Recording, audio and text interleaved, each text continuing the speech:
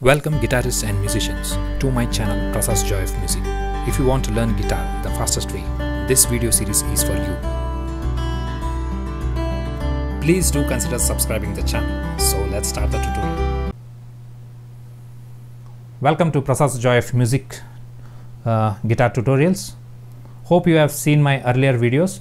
If you have not seen, please uh, check up the description so that you can prop uh, follow the tutorial properly. So, he, this is the multi-string exercise third part. We will be starting with the fifth string C D E F G F. Once again C D E F G F B A C B D C B A C D E F G F B A C B D C B A B D C.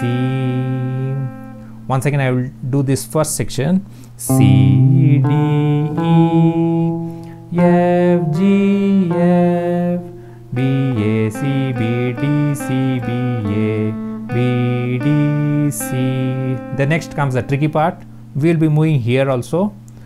So as you know this is E this is F this is G. After G this will be A and after A this will be B. So these two notes you will be learning new in this lesson. Okay? I will start from the beginning.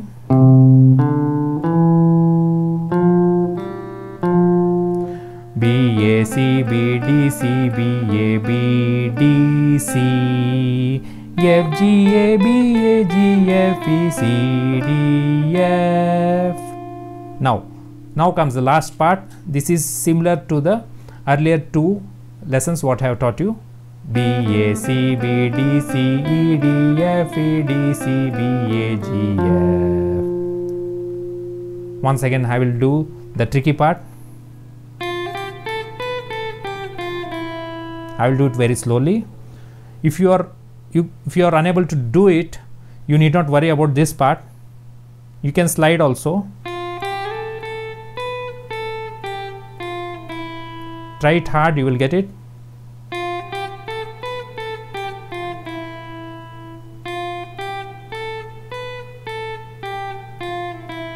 I will do it in normal speed.